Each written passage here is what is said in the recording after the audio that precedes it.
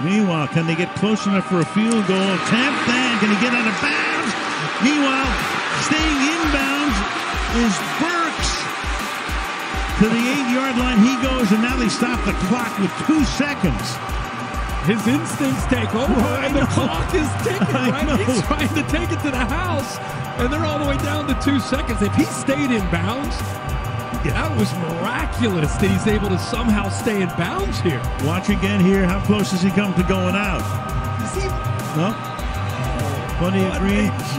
Meanwhile, there, there's the moment of truth now. He almost gets tripped. Hangs on. Meanwhile, you got a field goal attempt here. Chip shot. 29 yards coming up. The straight A's. Third and six. Rolling right. Firing. And it is Burks. Does he hold on to it? He does. Or does he not is the question now. He does hold on.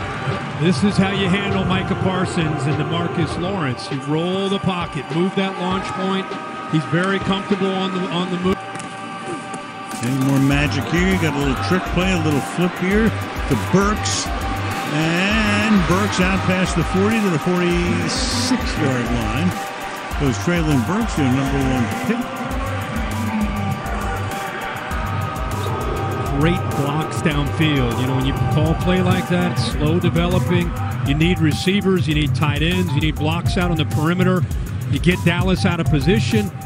Burks shows you, even for his size, he can go. But look at Swain downfield. Good blocks. Robert And then came in here in, in 99. Meanwhile, you got the pass for a very short game there.